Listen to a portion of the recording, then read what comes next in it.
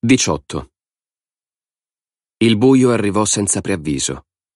Nell'aria di luglio c'era il gelo di dicembre e continuava a cadere una pioggia nera e gelida sulle rovine di Manhattan. Sorella Cripp e Artie Wisco erano in piedi su una montagna di macerie e guardavano verso ovest. Dall'altra parte dell'Hudson stavano ancora bruciando dei fuochi nelle raffinerie di Hoboken e Jersey City. Ma a parte le fiamme arancioni, a ovest non c'era luce. Gocce di pioggia cadevano sull'ombrello contorto dai colori vivaci che Arti aveva trovato in quello che restava di un negozio di articoli sportivi. Il negozio aveva fruttato anche altri tesori. Uno zaino di nylon arancione fosforescente sulle spalle di Arti e un nuovo paio di scarpe da tennis ai piedi di sorella Crip. Nella borsa Gucci appesa alla sua spalla c'era una forma bruciata di pane di segale due scatole di acciughe con le chiavette per arrotolare i coperchi, un pacchetto di prosciutto affettato che si era cotto nella plastica e una bottiglia miracolosamente intatta di ginger ale Canada Dry, che era sopravvissuta alla distruzione di una gastronomia. Ci avevano messo diverse ore per superare il percorso tra la quinta strada e la loro prima destinazione, il Lincoln Tunnel. Ma la galleria stessa era crollata e il fiume era straripato fino ai caselli del pedaggio assieme a una lunga ondata di auto distrutte, lastre di cemento e cadaveri. Si erano voltati indietro in silenzio. Sorella Cripp aveva portato arti verso sud, verso l'Holland Tunnel e un'altra strada sotto il fiume. Il buio era calato prima che ci arrivassero, e adesso avrebbero dovuto aspettare l'indomani mattina per scoprire se anche quella galleria era crollata. L'ultimo cartello che sorella Cripp aveva trovato diceva ventiduesima ovest, ma giaceva su un fianco nelle ceneri e avrebbe potuto essere stato portato lontano da dove quella strada si trovava realmente. Bene, disse Arti piano, guardando dall'altro lato del fiume. Sembra che non ci sia nessuno a casa, vero? No. Sorella Crip rabbrividì e si strinse addosso con più vigore la pelliccia di visone. Fa più freddo ora. Dovremmo trovare un riparo. Nel buio guardò verso le vaghe sagome delle poche strutture che non erano cadute. Una qualsiasi di esse avrebbe potuto cadere loro in testa. Ma non le piaceva il modo in cui stava calando la temperatura. Andiamo, disse, e iniziò a camminare verso uno degli edifici. Arti la seguì senza fare domande. Durante il loro viaggio avevano trovato solo altre quattro persone che non erano state uccise dall'esplosione e tre di esse erano state così straziate da essere molto vicine alla morte.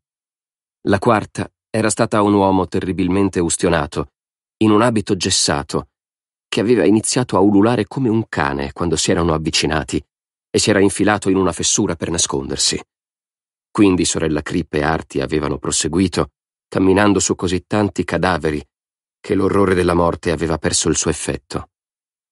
Adesso erano scioccati ogni volta che sentivano un gemito tra le macerie, o, come era accaduto una volta, qualcuno ridere e gridare in lontananza. Erano andati nella direzione della voce, ma non avevano visto essere vivente. La risata folle perseguitava sorella Cripp. Le ricordava la risata che aveva sentito in quel cinema, quella dell'uomo con la mano in fiamme. Ci sono altri ancora vivi là fuori, aveva detto in attesa di morire. Non ci vorrà molto, nemmeno per te. Questo lo vedremo, stronzo, disse sorella Cripp. Cosa? chiese Arti. Oh, niente. Stavo solo pensando. Pensare, si rese conto. Pensare era una cosa che non faceva spesso. Gli ultimi anni erano confusi e al di là di quelli c'era un'oscurità interrotta solo dalla luce blu lampeggiante e dal demone nell'impermeabile giallo. D'un tratto pensò: Il mio vero nome non è sorella Crip. Il mio vero nome è. ma non sapeva quale fosse, e non sapeva chi fosse o da dove venisse. Come sono arrivata qui? si chiese, ma non era in grado di darsi una risposta. Entrarono nei resti di un edificio di pietra grigia arrampicandosi su un mucchio di macerie e strisciando in un foro nel muro. Dentro era buio pesto e l'aria era umida e fumosa, ma almeno erano al riparo dal vento. Avanzarono a tentoni su un pavimento inclinato finché non trovarono un angolo. Quando si furono sistemati, sorella Crip frugò nella sua borsa per estrarne la forma di pane e la bottiglia di ginger ale. Le sue dita accarezzarono il cerchio di vetro che aveva avvolto in una maglietta a strisce bruciata che aveva tolto un manichino. Gli altri pezzi di vetro avvolti nella sciarpa blu erano in fondo alla borsa. Tieni. Strappò un pezzo di pane e lo diede ad Arti.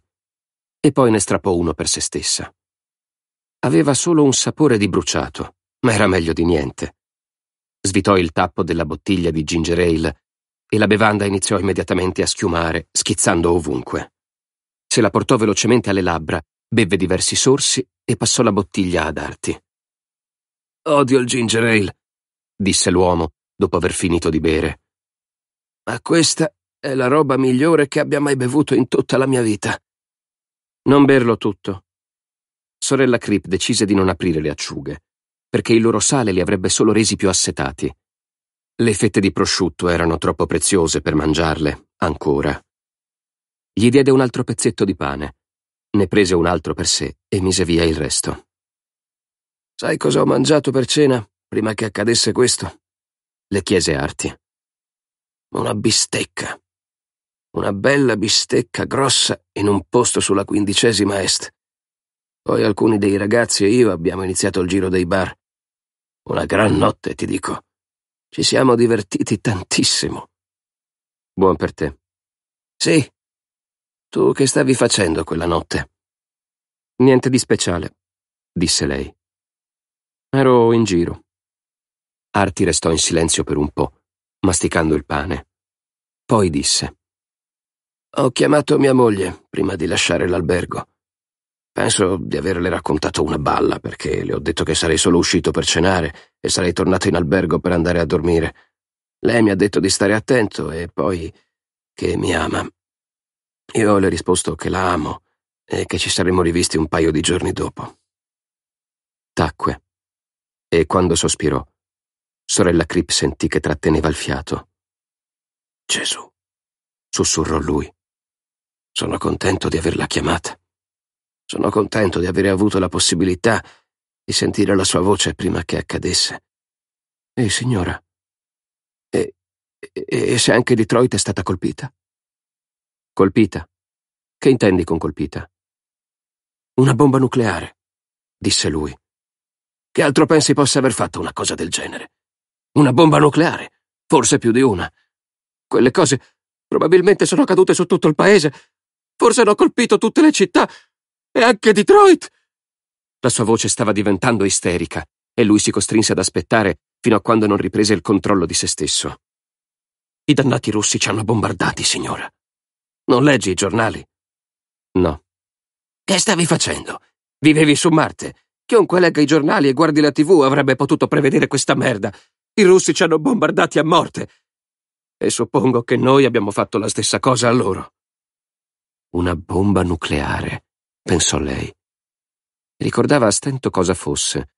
La guerra nucleare era qualcosa di cui si era preoccupata in un'altra vita. Spero che se hanno colpito Detroit lei sia morta velocemente. Voglio dire, va bene sperarlo, no? Che sia morta velocemente senza dolore. Sì, penso che vada bene. Va, va, va bene se le ho detto una bugia. Era a fin di bene. Non volevo che si preoccupasse per me. Si preoccupa che io finisca per bere troppo e rendermi ridicolo. Non reggo l'alcol molto bene. Va bene se le ho detto una bugia a fin di bene quella sera. Lei sapeva che lui la stava implorando perché gli dicesse che andava bene. Certo, gli disse. Un sacco di gente ha fatto cose peggiori quella sera. Lei è andata a dormire senza preoccupazioni. Non, Qualcosa di appuntito punse la guancia sinistra di sorella Crip. Non muoverti, le ordinò una voce di donna. Non respirare nemmeno. La voce tremava. Chiunque stesse parlando era spaventato a morte. Chi è là? chiese Arti, a cui era quasi venuto un colpo per lo spavento. Ehi, signora, stai bene? Sto bene, rispose sorella Crip. Portò la mano alla guancia e toccò un pezzo di vetro seghettato, simile a un coltello. T'ho detto di non muoverti. Il vetro la punse un po' di più. Quanti altri ci sono con te? Solo uno. Arti Wisco, mi chiamo Arti Wisco. Dove sei?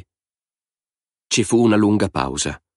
Poi la donna disse: Avete del cibo? Sì. Acqua. Questa volta era la voce di un uomo, più sulla sinistra. Avete dell'acqua? Non acqua, ma ginger ale. Vediamo che aspetto hanno, Beth, disse l'uomo. Si accese la fiamma di un accendino, così forte nel buio che sorella Crip dovette chiudere gli occhi per qualche secondo a causa del bagliore. La donna avvicinò la fiamma al volto di sorella Crip e poi verso Arti. Credo siano a posto, disse all'uomo, che entrò nel cerchio di luce. Sorella Crip riuscì a distinguere la donna accovacciata accanto a lei il suo volto era gonfio e sull'attaccatura del naso aveva un taglio, ma sembrava giovane, forse sui 25, con alcuni ciuffi di capelli ricci e castano chiaro che le pendevano dalla testa piena di vesciche. Le sue sopracciglia erano state bruciate e i suoi occhi azzurro scuro erano gonfi e iniettati di sangue. Era una donna esile e indossava un abito a strisce blu macchiato di sangue. Le sue braccia lunghe e fragili erano ricoperte di vesciche. Intorno alle spalle aveva quello che sembrava parte di una tenda dorata. L'uomo indossava gli stracci di un uniforme da poliziotto. Era più vecchio, probabilmente di quasi 40 anni, e la maggior parte dei suoi capelli neri dal taglio militare restava sul lato destro della sua testa. Sulla sinistra erano stati bruciati fino al cuoio capelluto. Era un uomo grosso e robusto, e il suo braccio sinistro era bendato e sostenuto da una fascia fatta dello stesso materiale grezzo e dorato. Mio Dio, disse Arti. Signora, abbiamo trovato un poliziotto. Da dove siete venuti voi due? le chiese Beth. Da là fuori. Da dove altrimenti? Cosa c'è nella borsa? La donna fece un cenno verso di essa. Me lo stai chiedendo o mi stai rapinando? La donna esitò lanciò un'occhiata al poliziotto e poi di nuovo a sorella Crip e abbassò il pezzo di vetro. Se lo infilò in una fascia legata intorno alla sua vita. Te lo sto chiedendo. Pane bruciato, un paio di scatole di acciughe e delle fette di prosciutto. Sorella Crip riuscì quasi a vedere la giovane donna iniziare a salivare. Infilò una mano nella borsa ed estrasse il pane. Tieni. Buon appetito. Beth ne strappò un pezzo e diede il restante al poliziotto, che a sua volta ne strappò un po' e se lo mise in bocca come se fosse una manna del cielo. Per favore, disse Beth, e allungò la mano verso il ginger ale. Sorella Crip glielo diede, e quando lei e il poliziotto ne ebbero bevuto entrambi, ne restarono forse tre sorsi decenti. Tutta l'acqua è contaminata, le disse Beth. Uno di noi ha bevuto da una pozzanghera ieri. Ha iniziato a vomitare stanotte. Ci ha messo quasi sei ore a morire. Ho un orologio che funziona ancora, vedi? Mostrò orgogliosa il suo Timex a sorella Crip. Il cristallo era sparito, ma quel vecchio orologio ancora ticchettava. Erano le otto e ventidue. Uno di noi, aveva detto. Quanta altra gente c'è qui?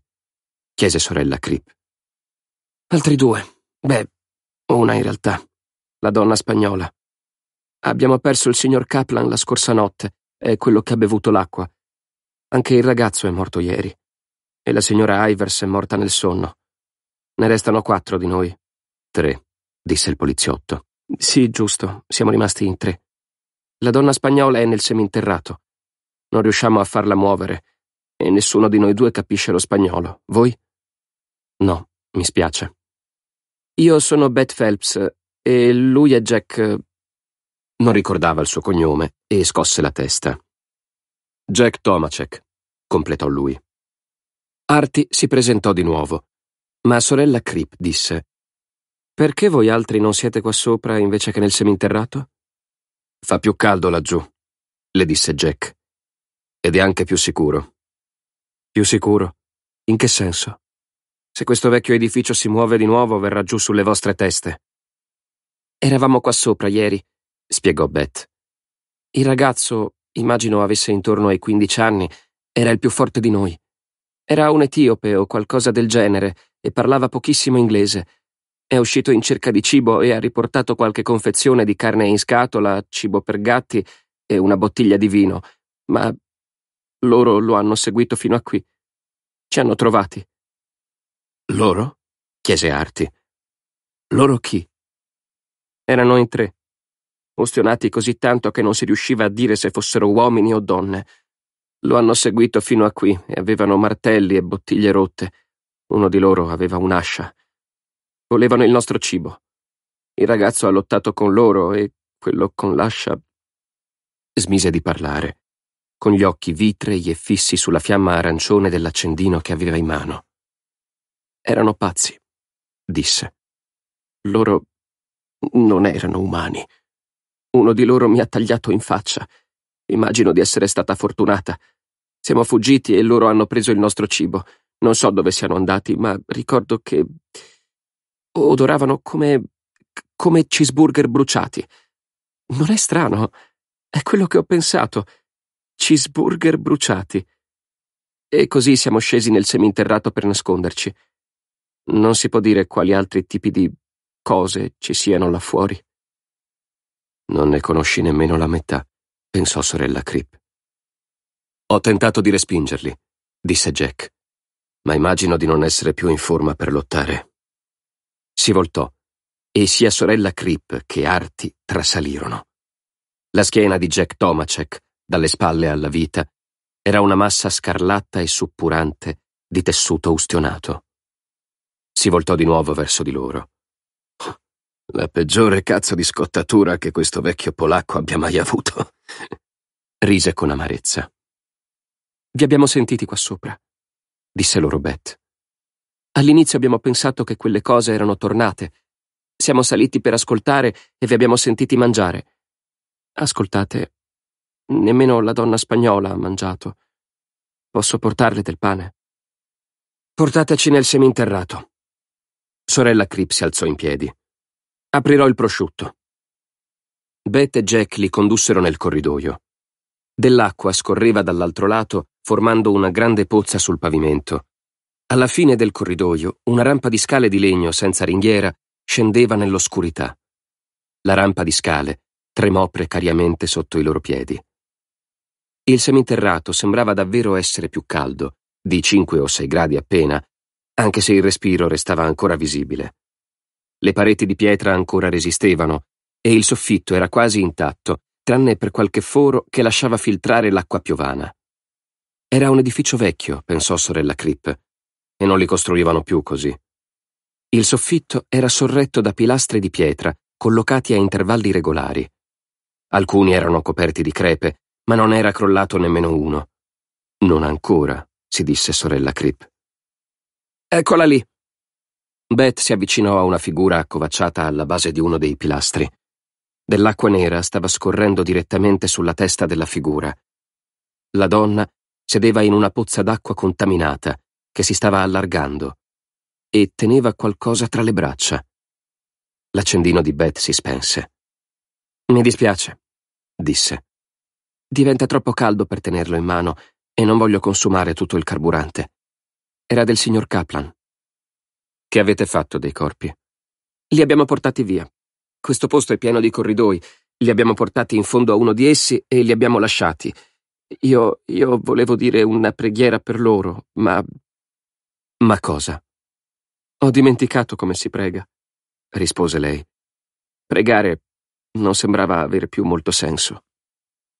Sorella Crip grugnì e infilò la mano nella borsa per prendere il pacchetto di prosciutto affettato. Beth si accovacciò e offrì la bottiglia di ginger ale alla donna spagnola. L'acqua piovana le bagnò la mano. Tieni, disse. È qualcosa da bere. Las bevandas. La donna spagnola fece un suono simile a una nenia mugolante, ma non rispose. Non vuole spostarsi da qui, disse Beth. L'acqua la sta bagnando tutta e non si vuole spostare neanche di un metro in un posto asciutto. Vuoi del cibo? Chiese la donna spagnola. Mangiare! Mangiare! Cristo, come puoi vivere a New York City senza parlare inglese? Sorella Crip riuscì a togliere la maggior parte della plastica dal prosciutto. Ne strappò un pezzo e si piegò sulle ginocchia accanto a Beth Phelps. Usa di nuovo l'accendino. Magari se vede quello che abbiamo potremo tirarla via da lì. L'accendino si accese. Sorella Crip guardò il volto coperto di vesciche, ma sempre bello, di una ragazza ispanica che forse poteva avere vent'anni. I suoi lunghi capelli neri erano bruciacchiati alle estremità e qua e là sulla testa c'erano dei vuoti in cui chiazze di capelli erano state bruciate. La donna non prestò attenzione alla luce. I suoi occhi marroni, grandi e tristi, erano fissi su ciò che cullava tra le braccia. Oh, disse sorella Crip piano. Oh, no. Il bambino aveva forse tre anni. Una bambina, con capelli neri e lucidi come quelli della madre. Sorella Crip non riusciva a vedere il volto della bambina. Non voleva vederlo. Ma una manina si era irrigidita come se si stesse allungando verso la madre, e la rigidità del cadavere tra le braccia della donna le fece capire che la bimba era morta da qualche tempo. L'acqua stava filtrando da un foro nel soffitto, scorrendo tra i capelli della donna spagnola e sul suo volto come lacrime nere Iniziò a canticchiare gentilmente, cullando il cadavere amorevolmente. È fuori di testa, disse Beth.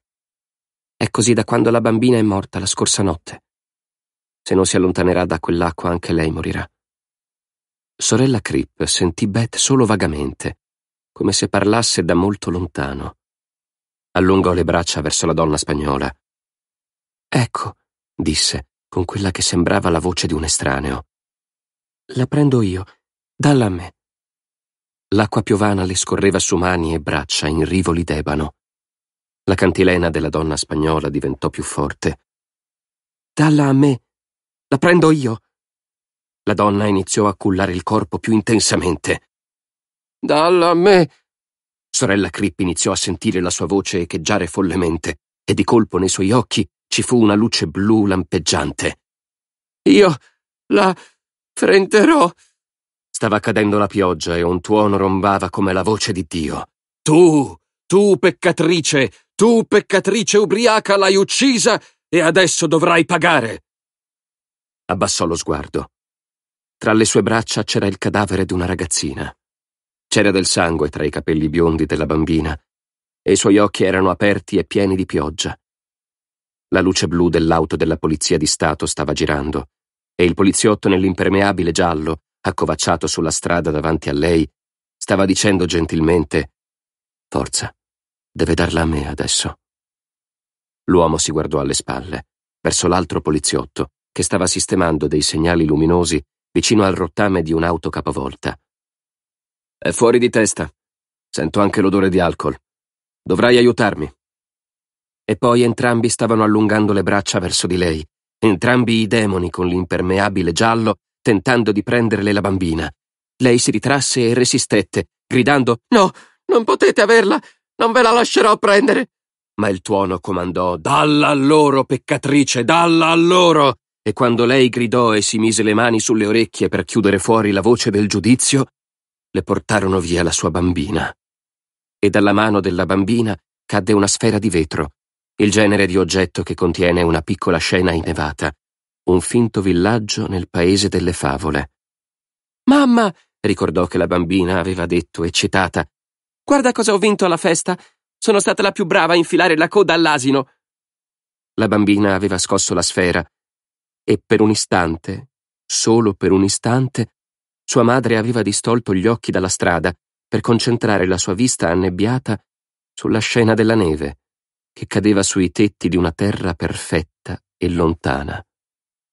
Guardò cadere la sfera di vetro, in un terribile movimento al rallentatore, e gridò, perché sapeva che stava per rompersi sull'asfalto e quando si fosse rotta tutto sarebbe scomparso e sarebbe stato distrutto.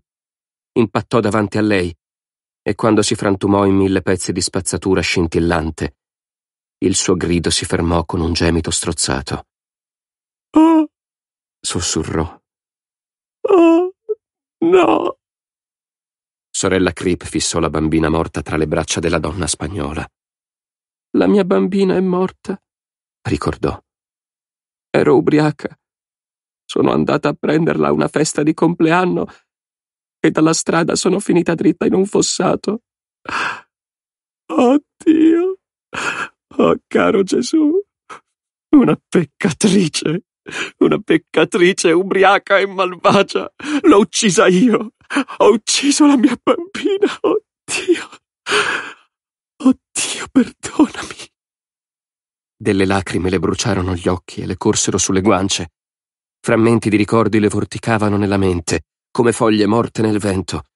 Suo marito infuriato che la malediceva dicendo che non voleva più rivederla, la sua stessa madre che la guardava con disgusto e pietà, dicendole che non avrebbe mai dovuto avere una figlia, il dottore alla casa di cura che annuiva e controllava l'orologio, i corridoi dell'ospedale in cui donne grottesche, dinoccolate e pazze parlottavano, urlavano e lottavano l'una con l'altra per dei pettini, e l'alto recinto su cui si era arrampicata a notte fonda durante una tormenta di neve per raggiungere la foresta dall'altra parte. La mia bambina è morta, pensò, morta e sepolta tanto tempo fa. Le lacrime quasi l'accecarono, ma riusciva a vedere abbastanza da sapere che la sua bambina non aveva sofferto come quella tra le braccia della donna spagnola. La sua bambina era stata sepolta sotto un albero ombroso in cima a una collina. Questa bambina sarebbe rimasta per sempre in un seminterrato freddo e umido, in una città di morti. La donna spagnola alzò la testa e guardò sorella Crip con occhi spiritati. Sbatté le palpebre e allungò lentamente una mano nella pioggia per toccare la guancia di sorella Crip. Una lacrima restò in equilibrio sulla punta del suo dito, prima di cadere. Dalla a me, sussurrò sorella Crip. La prenderò io. La donna spagnola guardò di nuovo con desiderio il cadavere e poi le lacrime le sgorgarono dagli occhi e si mescolarono alla pioggia nera sul suo volto. Baciò la fronte della bambina morta, la strinse a sé per un momento e poi porse il cadavere a sorella Crip. Lei prese il corpo, come se stesse accettando un dono, e iniziò ad alzarsi. Ma la donna spagnola allungò di nuovo la mano e toccò la ferita a forma di crocifisso sul collo di sorella Crip disse sorpresa. Bendito, muy bendito. Sorella Crip si alzò e la donna spagnola strisciò lentamente fuori dall'acqua e si sdraiò sul pavimento, rannicchiata e in preda ai brividi. Jack Tomacek prese il cadavere a sorella Crip e si allontanò nell'oscurità. Non so come, ma ce l'hai fatta, disse Beth.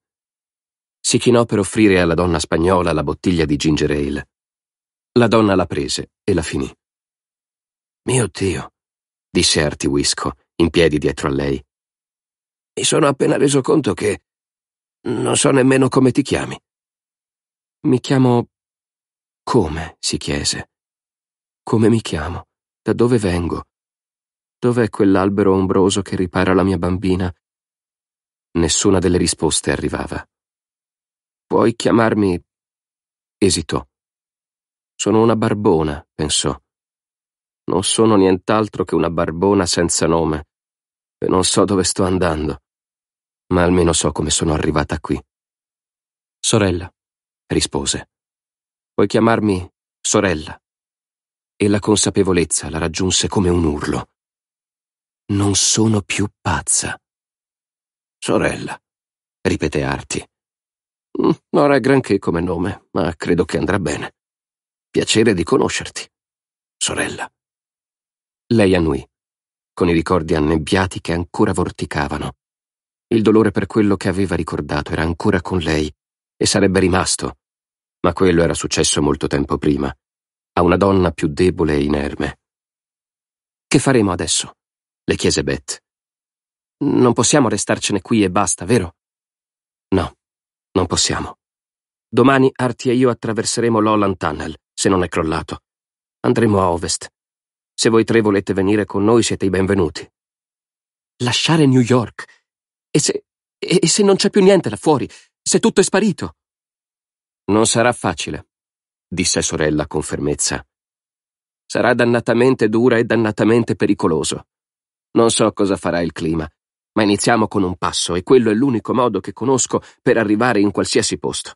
Giusto? Giusto le fece eco Arti. Hai delle buone scarpe, Beth. Quelle scarpe ti porteranno lontana. Abbiamo una lunga strada da percorrere, riflette sorella. Una strada molto lunga. E Dio solo sa cosa troveremo là fuori. O che cosa troverà noi. Va bene, decise Beth. Va bene. Io sono con voi. Spense di nuovo la fiamma del suo accendino per risparmiare carburante. Ma questa volta il buio non sembrava così intenso.